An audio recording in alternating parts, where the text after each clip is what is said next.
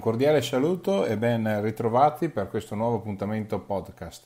Oggi parleremo dell'educazione finanziaria, o meglio del mese dell'educazione finanziaria. Il mese di ottobre è infatti il mese che è dedicato proprio a questo tema, l'educazione finanziaria. Sapete quanto ci tengo, sapete quanto sto facendo per questa tematica e quindi l'inizio di questo mese eh, mi ha portato a, a, considerare di fare un podcast perché secondo me vale la pena proprio riflettere su cosa sia stato fatto ma soprattutto su cosa ci sia ancora da fare in Italia su questo tema. Un tema che, eh, come vi ho detto in apertura, per me è veramente importante se non eh, al, primo, al, primo, posto delle, delle priorità, è proprio una priorità per me quello dell'educazione finanziaria. Sicuramente gli eventi dell'ultimo anno e mezzo hanno dimostrato ampiamente i vantaggi dell'avere una buona educazione finanziaria rispetto a chi eh, non ha una buona educazione finanziaria. Se pensiamo a quello che è successo appunto nei mercati lo scorso marzo 2020 ad inizio pandemia, eh, chi ha avuto un, att- un atteggiamento guidato dall'emotività e quindi da ragionare, come dico sempre, con la pancia, eh, è corso a vendere, o meglio a svendere, eh, avrebbe, chi ha condotto questo tipo di attività eh, ha portato indubbiamente a un risultato che è stato quello di intaccare il proprio patrimonio portando a casa dei risultati negativi.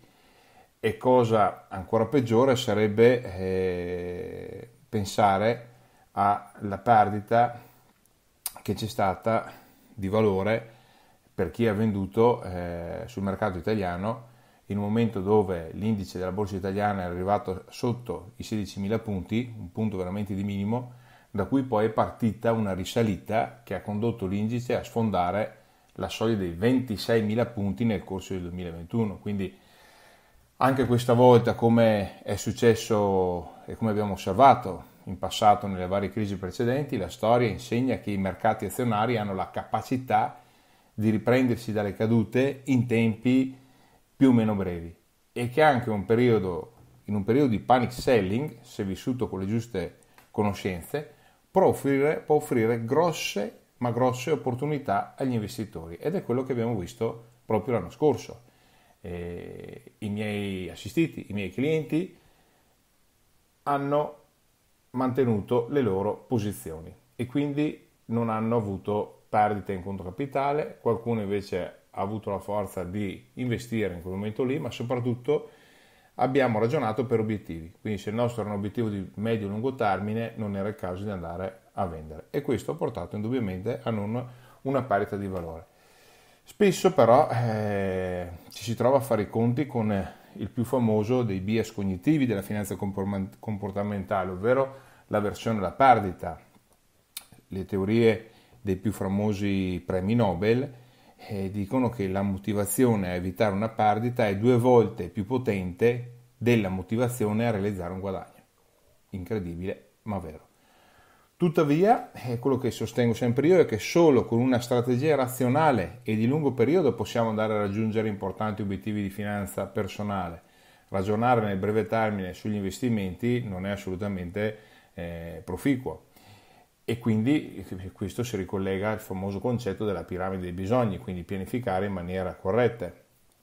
E, e queste sono situazioni, cose che non possono prescindere da una buona educazione finanziaria, cioè se abbiamo una buona educazione finanziaria non commettiamo errori e pianifichiamo bene. Pensate che secondo l'ultimo sondaggio annuale della, della Consob, nel corso del 2020 il tasso di partecipazione ai mercati finanziari delle famiglie italiane è leggermente cresciuto da un 30 a un 33%. Ma se questo può essere un segnale positivo, il report eh, dello stesso anno realizzato dalla Banca d'Italia sull'alfabetizzazione finanziaria definisce invece un quadro veramente eh, ancora eh, molto disastroso. Quindi mentre da una parte c'è stato un incremento del ricorso ai mercati, dall'altro siamo ancora molto indietro, indietro in termini di alfabetizzazione finanziaria. Questa indagine, quella appunto condotta dalla, dalla Banca d'Italia, ha preso in considerazione tre parametri di valutazione utilizzati dall'Ocse, conoscenze, comportamenti e attitudini. Quindi questi tre parametri, conoscenze, comportamenti e attitudini. veniva assegnato un, un punteggio complessivo che variava da 1 a 21 punti. Sulla base di questo il livello di alfabetizzazione finanziaria degli italiani nel 2020 si è attestato a 11,2 punti su una scala che andava da 1 a 21.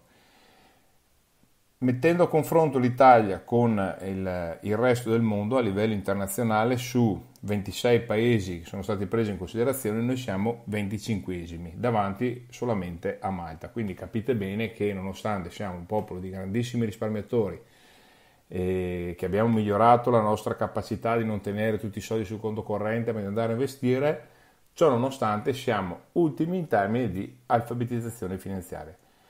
E questi numeri che sono davvero molto significativi e tristi allo stesso tempo, ci dicono che la strada da fare è ancora molta e occasioni come questo mese dell'educazione finanziaria ritengo siano fondamentali per migliorare la, la, una situazione che, eh, concorderete con me, è assolutamente deficitaria. Quindi da parte mia in questo mese cosa farò in più rispetto agli altri mesi? E di diverso sostanzialmente eh, niente perché i contenuti che io andrò a sviluppare nel corso del mese saranno sempre eh, costanti e con la solita regolarità, ma saranno temi sempre più incentrati nel dare indicazioni e informazioni base per poter migliorare, con, mm, fin partendo dalla base, eh, il proprio livello di alfabetizzazione finanziaria. È partita proprio il primo di ottobre, venerdì, una campagna anche pubblicitaria sul Corriere della Sera e Sarto Corriere di Verona, dove invito i risparmiatori a seguire i miei podcast, dove invito i risparmiatori a scaricare gratu- gratuitamente la, il mio ebook, consigli pratici su come investire, piuttosto che richiedere il, il mio magazine trimestrale, piuttosto che il mio libro. Tutte queste cose che si possono scaricare gratuitamente sono contengono informazioni base per una corretta pianificazione finanziaria e per un miglioramento della nostra alfabetizzazione. Quindi penso che sia una grande occasione per chi non l'ha ancora fatto di iscriversi al mio canale Telegram piuttosto che trovarmi su Spreaker o su altri podcast eh, tipo Google Post, Podcast, Apple Podcast, eh, piuttosto che su Spotify per ascoltare le mie informazioni base, perché sono informazioni semplici, piuttosto che scaricarsi l'ebook, piuttosto che eh, il magazine o il libro. E per qualsiasi cosa sono a disposizione per poter dare delle informazioni base, perché se vogliamo migliorare il processo di eh, risparmio in Italia, non commettere, non cadere purtroppo poi negli errori che negli ultimi anni hanno caratterizzato purtroppo il, eh, spesso il, il, nostro paese è quello di avere informazioni precise, puntuali, in modo da poter sapere e capire di cosa stiamo parlando insieme con il nostro consulente e il nostro, eh, la nostra persona di fiducia. Auguro a tutti quindi un buon mese dell'educazione finanziaria e appuntamento al prossimo podcast.